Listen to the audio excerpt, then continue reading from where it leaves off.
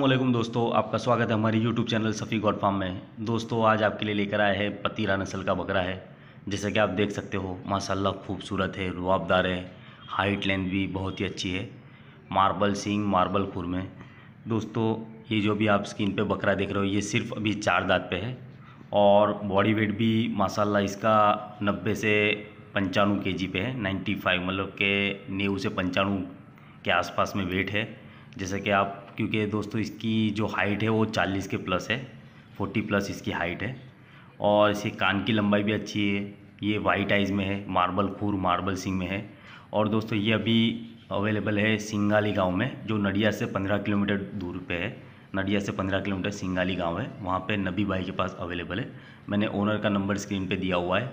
और दोस्तों इसकी प्राइस इन्होंने सेवेंटी फाइव थाउज़ेंड रुपये रखी है। पंचा पंचोतेर हज़ार रुपये रखी है और उसमें भी नॉर्मल सा नेगोशिएबल हो जाएगा। तो अगर किसी को इंटरेस्ट है, बकरा पसंद है तो हो सके तो मैं तो सब वीडियो में एक ही चीज़ बता रहा हूँ कि अगर जो आप नज़दीक के हो तो एक बार रूबरू विज़िट करो, जानवर को रूबरू देखो, क्योंकि मेरे पास जो डिटेल आती है, वो ये भाई ऐसे तो माप के ही बताते हैं कन्फर्म बताते हैं। कोई इसमें कोई फ्रॉड जैसा तो कुछ होता नहीं है, लेकिन ज़्यादातर मैं नज़दीक की वीडियो इसलिए देता हूँ दोस्तों कि आप अगर रूबरू जाके विज़िट कर सकते हो, क्योंकि आप भी इतना महँगा जानवर अगर ख़रीदते हो तो आपके लिए भी एक वैल्यू रहती है। तो हो सके तो एक बार जानवर रूबरू देखो, क्योंकि जो वीडियो में दिखता है उससे अच्छा अगर देखने जाओगे तो रूबरू में अच्छा लगेगा।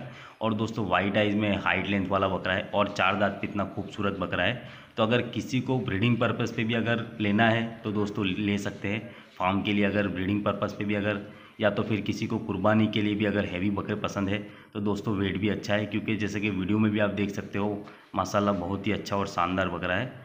तो ये बकरा अभी अवेलेबल है सिंगाली नडिया से सिर्फ़ पंद्रह किलोमीटर पर ही है, नबी भाई के पास। तो दोस्तों ये जो वीडियो तो दी है इन्होंने, अगर इसके अलावा इसके अलावा आपको कोई भी डिटेल लेनी है, उसकी मापती हुई हाइट देखनी है, या इसकी कान की लंबाई पूछनी है, या कोई भी डिटेल आपको लेनी है, इसका जो रिज़ल्ट है उसकी भी आपको तो आप डायरेक्ट भाई से बात कर लें। शुक्रिया दोस्तों।